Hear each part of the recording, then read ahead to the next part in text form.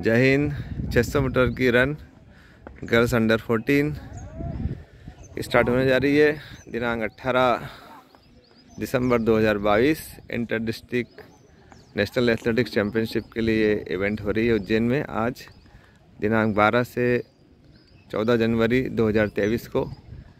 बिहार, पटना में inter district national athletics championship होगी, जिसके लिए आज ये उज्जैन जिला एथलेटिक्स की टीम रेडी हो रही है। उज्जैन एथलेटिक्स एसोसिएशन एवं कॉरपोरेशन की संयुक्त इवेंट इसकी 600 मीटर की दौड़ देखेंगे बालिकाओं की।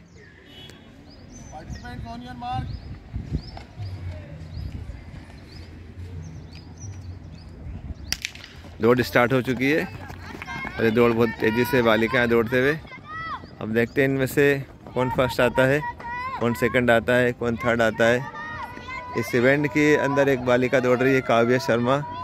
जिसकी इवेंट में आपको कई बार दिखा चुका हूँ।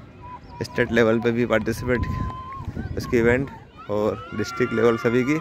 अभी काव्या शर्मा आपके सामने सेकंड पोजीशन पर चल रही है। देखिए आप अब देखते हैं काव्या शर्मा कि आज भी यहाँ पर फ़र्स्ट पोजीशन पर आती है, पीछे है कनिष्का पॉल और छः सौ मीटर की ये इवेंट आधा राउंड पूरा हो गया, डेढ़ राउंड इसका लगाना है।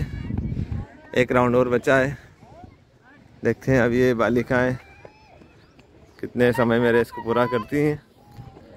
काव्य शर्मा आपके सामने आगे चलती हुई। देखिए करू पे काव्य आगे। सेकंड पे कनिष्का, दोनों में डिस्टेंस 10 मीटर के 10 से 15 मीटर का। Inter district national athletics championship Patna, Bihar के लिए ये चयन स्पर्धा। यहाँ से चयनित बच्चे national athletics championship Patna Bihar में जाएँगे। Inter district national athletics championship के लिए चयन उज्जैन डिस्ट्रिक्ट एथलेटिक्स एसोसिएशन एवं कॉरपोरेशन के बच्चे यहाँ पर दौड़ रहे हैं। इनमें से चयनित बच्चों को हम पटना बिहार के लिए पहुँचाएँगे। अब देखते हैं ये रेस फिनिश होने वाली है। काव्या शर्मा कितना समय लेती है? फ़र्स्ट तो आ ही रही है हर इवेंट की तरह अंडर 14 में 600 मीटर में लगातार वो फ़र्स्ट आती है। आपके सामने दौड़ लगा रही है काव्या। और फिनिश करने वाली है बस ये फिनिशिंग लाइन के पास। और ये रेस को फिनिश किया काव्या ने। इसके पीछे है कनिष्का पॉल। ये कनिष्का पॉल, और इसने रेस को फिनिश किया। दो बालिकाओं ने रेस फिनिश कर दिया है। अब देखते हैं। और बच्चे बच्चे हैं। फिनिश के लिए। देखिए, दो छोटे, दो, तीन, चार छोटे नन्हे नन्हे बच्चे छोटे छोटे पार्टिसिपेट कर रहे हैं।